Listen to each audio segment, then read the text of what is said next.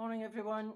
Um, we're back at the wood burner again and uh, today I'm going to tell you how you can measure your room to get the correct size of wood burner or pellet burner.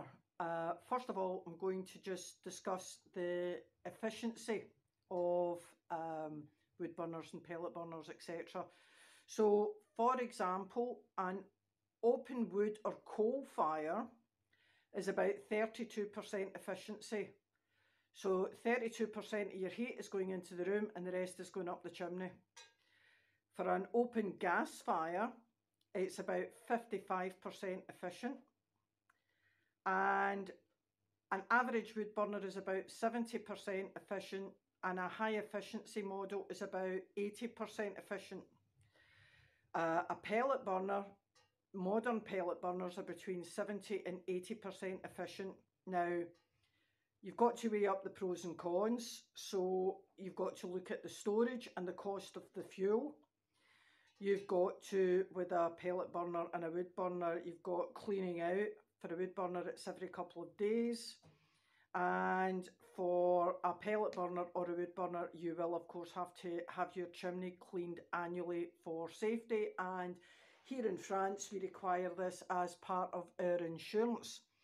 Now, if you fancy a wood burner like this, you can measure your room, so the height by the width by the length in metres, add that up, and then divide it by 14, and that will give you the kilo wattage to heat that room.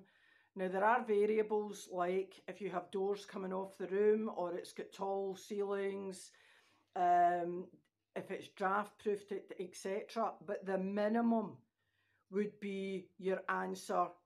So for me, uh, the answer is 8 for the kilowattage of the room, which means I would need a minimum of 8 kilowatts to heat the room.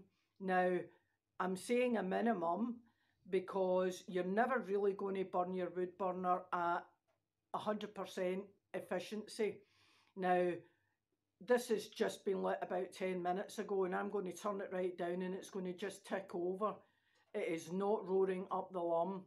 So this is a 10 kilowatt wood burner and we have doors going off to the kitchen.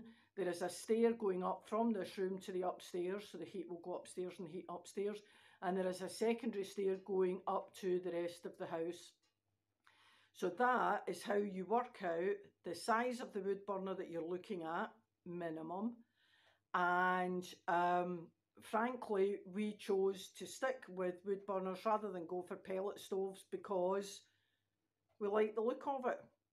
Um, they're easy to maintain, they last for years, but now you have that information to go and make a, a choice based on